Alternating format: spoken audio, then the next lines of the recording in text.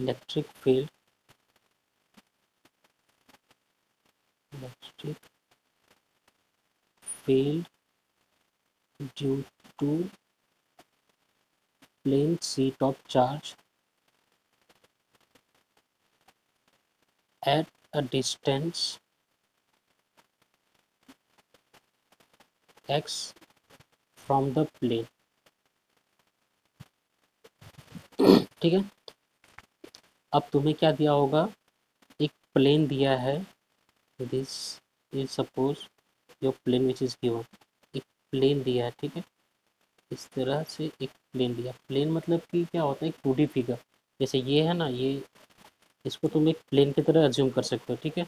एक ऐसा एक प्लेन दिया गया है एट ए डिस्टेंस एक्स मतलब इस प्लेन से इतना दूर. एट पर्टिकुलर डिस्टेंस एक्स यहाँ पे कितनी इलेक्ट्रिक फ़ील्ड होगी, वो हमें फाइंड करना है। ठीक है? इस पर्टिकुलर डिस्टेंस एक्स पे from the center of the यहाँ से कितना इलेक्ट्रिक फ़ील्ड होगा that we need to find it out now पिछले क्लास में हमने क्या सीखा था? Gauss law now by for application of Gauss law we need Gaussian surface ठीक है? गॉसियन सरफेस हम यहाँ गॉसियन सरफेस क्या होता है? उसका करेक्टरिस्टिक्स वो दोनों तरफ़ से चार्ज के सिमेट्रिकल होना चाहिए, ठीक है? चार्ज मान लो ये हमारा यूनिफॉर्मली डिस्ट्रीब्यूटेड है पूरे प्लेन पे। यहाँ पूरे सरफेस पे चार्ज डिस्ट्रीब्यूटेड है, इसलिए क्या आएगा? सरफेस चार्ज डेंसिटी आएगी ठीक है?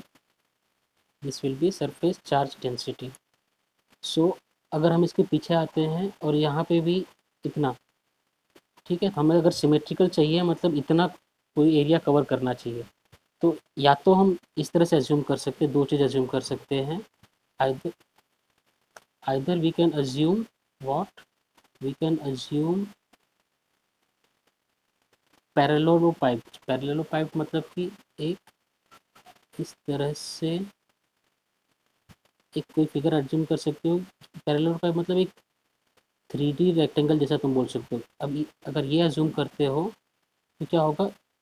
ये प्लेन के इस साइड भी चार्ज के सिमेट्रिकल रहेगा, ये भी, और इस साइड भी चार्ज के सिमेट्रिकल रहेगा। दूसरा अजम्पन क्या ले सकते हो तुम?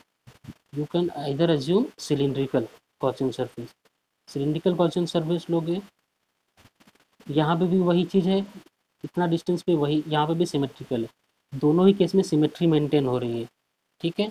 So in both the cases you are able to maintain the symmetry so either you can choose this और यू कैन चूज़ दिस पर हमने कल क्या इस पर ये वाला डायग्राम लेके किया था तो इस पे से हम वापस सॉल्व करते हैं, ठीक है? Suppose if you are assuming cylindrical surface if we are assuming symmetrical Gaussian surface right this will be our symmetrical Gaussian surface that is cylinder हमने सिलेंडर अज्यूम किया ऐसे गॉसियन सरफेस ठीक है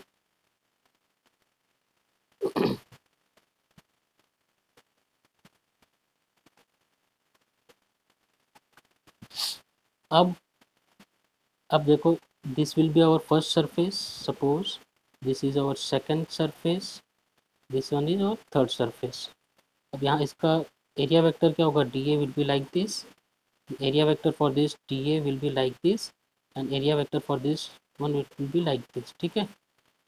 अब देखो यहाँ पे according to Gauss law we can write total flux equals to Q inside divided by epsilon और ये चार्जेस क्या है? कौन चार्ज नहीं क्यू डिस्ट्रीब्यूटेड चार्ज है, ठीक है? It is uniformly distributed along the whole sheet तो डायरेक्टली इसको हम नहीं निकाल सकते इसके लिए हम क्या पहले, हमने पढ़ रखा है surface charge density that is sigma equal to charge per unit area charge per unit area so Q inside over here will be charge यहाँ पे क्या है? Sigma equal to Q inside upon A so from this we can write Q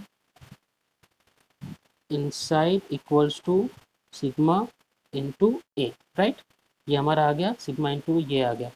तो from this flux total हमें क्या पता है? Total flux will be flux through surface one plus surface two plus flux through surface three ठीक है? Flux through surface 1 plus surface 2 plus surface 3 that is phi 1 plus phi 2 plus phi 3 अब इस diagram में हमें क्या दिख रहा है? एक मिनट रुको। ई डी ए कॉस इसके बीच, इसके इलेक्ट्रिक फ़ील्ड कैसी होगी? इस डायरेक्शन में इलेक्ट्रिक फ़ील्ड इस चार्ज की वजह से इलेक्ट्रिक फ़ील्ड क्या होगा? अवे फ्रॉम द चार्ज होगा तो मतलब इलेक्ट्रिक फ़ील्ड ऐसे होगी, यहाँ पर भी इलेक्ट्रिक फ़ील्ड ऐसी होगी। अब ध्यान से देखो इलेक्ट्रिक फ़ील्ड और एरिया वेक्टर में क्या, कितना एंगल है? यहाँ पे भी क्या है? ज़ीरो इसमें भी क्या है? एरिया वेक्टर और इलेक्ट्रिक फ़ील्ड वेक्टर में एंगल कितना है? और here also it is zero so it will be E D A cos zero for this also for flux through third surface it will be E D A angle कितना है? 90 degree so cos 90 right इतना हमें मिल गया. So cos 90 is zero so total flux is going to be ये e integration D A plus A integration D A और total integrate करेंगे, हमें कितना मिलेगा flux five total equal to E A plus E A that is equal to two E A this is this was our first equation this is second equation on comparing equation one and two we can get what we can write Q inside divided by epsilon equals to two E into A q inside कितना है? Sigma a divided by epsilon to to 2e into a. Area area cancel अब यहाँ से भी देखो area कैसे होगा यहाँ पे? इस एरिया में कितना चार्ज होगा? हम ये जो, ये सरफेस चार्ज फाइंड कर रहे हैं। मतलब जो सिलेंडर में से पास हो रहा है, इतने के अंदर कितना चार्ज आ रहा है, वो हमें मिल रहा है। सिग्मा जो हमें मिल रहा है, ये टोटल इसके अंदर कितना, ये जो सरफेस है, इस सरफेस के अंदर कितना चार्ज आ रहा है, वो हमें मिल रहा है, ठीक है? यहाँ पे भी, ये एरिया ये एरिया भी सेम ही रहने वाले हैं, क्योंकि ये भी काउट सरफेस एरिया मतलब ये सर्कुलर है। यहाँ इसका अगर तुम क्रॉस सेक्शन एरिया निकालोगे तो क्या रहेगा? सर्कुलर ही रहेगा ना। हमें पूरे प्लेट का चार्ज नहीं फाइन कर रहे, जो क्यू इनसाइड फाइन कर रही है, वो खाली ये जो सिलिंड गॉसियन सरफेस तुमने कंसिडर किया है, उस गॉसियन सरफेस में कितना चार्ज आएगा, ठीक है? तो यही सर ये एरिया सरफेस होगा वो। तो from here we are getting equal to what we are getting E equal to sigma upon 2 epsilon naught ठीक है what final equation which we are getting is E equal to sigma epsilon naught right but always remember that this equation is valid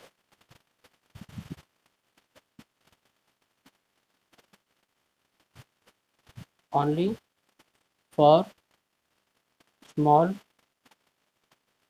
distance x, as compared to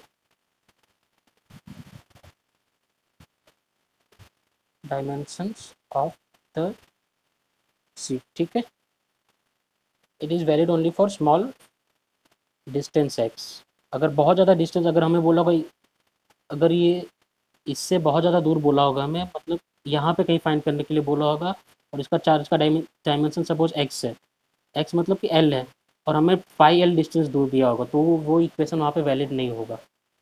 ठीक है? और ये equation तभी valid है जब charge surface पे हो और हमें एक्स ऐसा डिस्टेंस हो जो कि इस डायमेंशन से छोटा हो। ठीक है? समझ में आया ये?